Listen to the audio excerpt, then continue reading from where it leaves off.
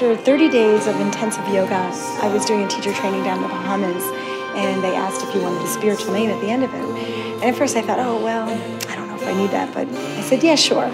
So the name was given, and it was written just on the back of my diploma, and I read the word Satya, and I, I didn't know what it meant. And they went on to say that it means true.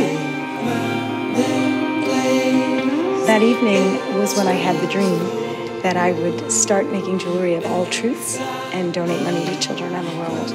So I called my best friend up immediately after that morning.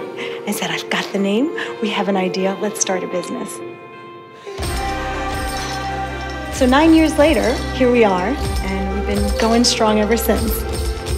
We have a 501c foundation. We donate to numerous orphanages all over the world. We work with a lot of celebrities on pieces and target places like Haiti, India, and work with children's organizations around the world. It's been really exciting. I can't wait to see what's next.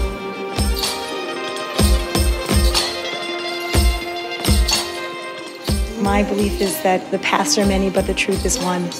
People come into our shops because they're looking for something special. Our hope is that any person can walk into one of our shops or go online and shop and find something that is true to themselves, something that warms their heart, whether it be a symbol that resonates within them or it's a stone that they're drawn to because of the healing property.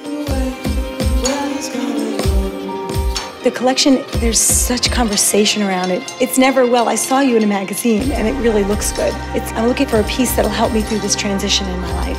Or my friend's getting married and I want to give her something that represents. So the jewelry is specific, it's very personal, and it has such a conversation. People notice the jewelry because people are drawn to it for some symbolic reason. I believe that they emanate the energy around it, they sparkle.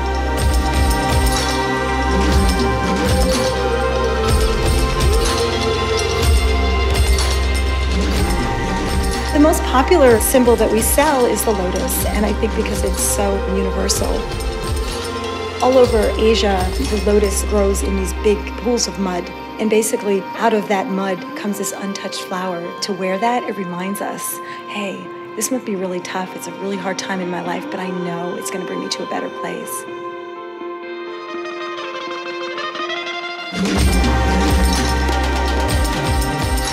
Our fall collection, Beauty in Motion, is a combination of tassels, movement, prayer beads. I thought, what better way but to bring it in drapes of stones and these tassels and movement, beauty, grace, the power of your own essence in the world.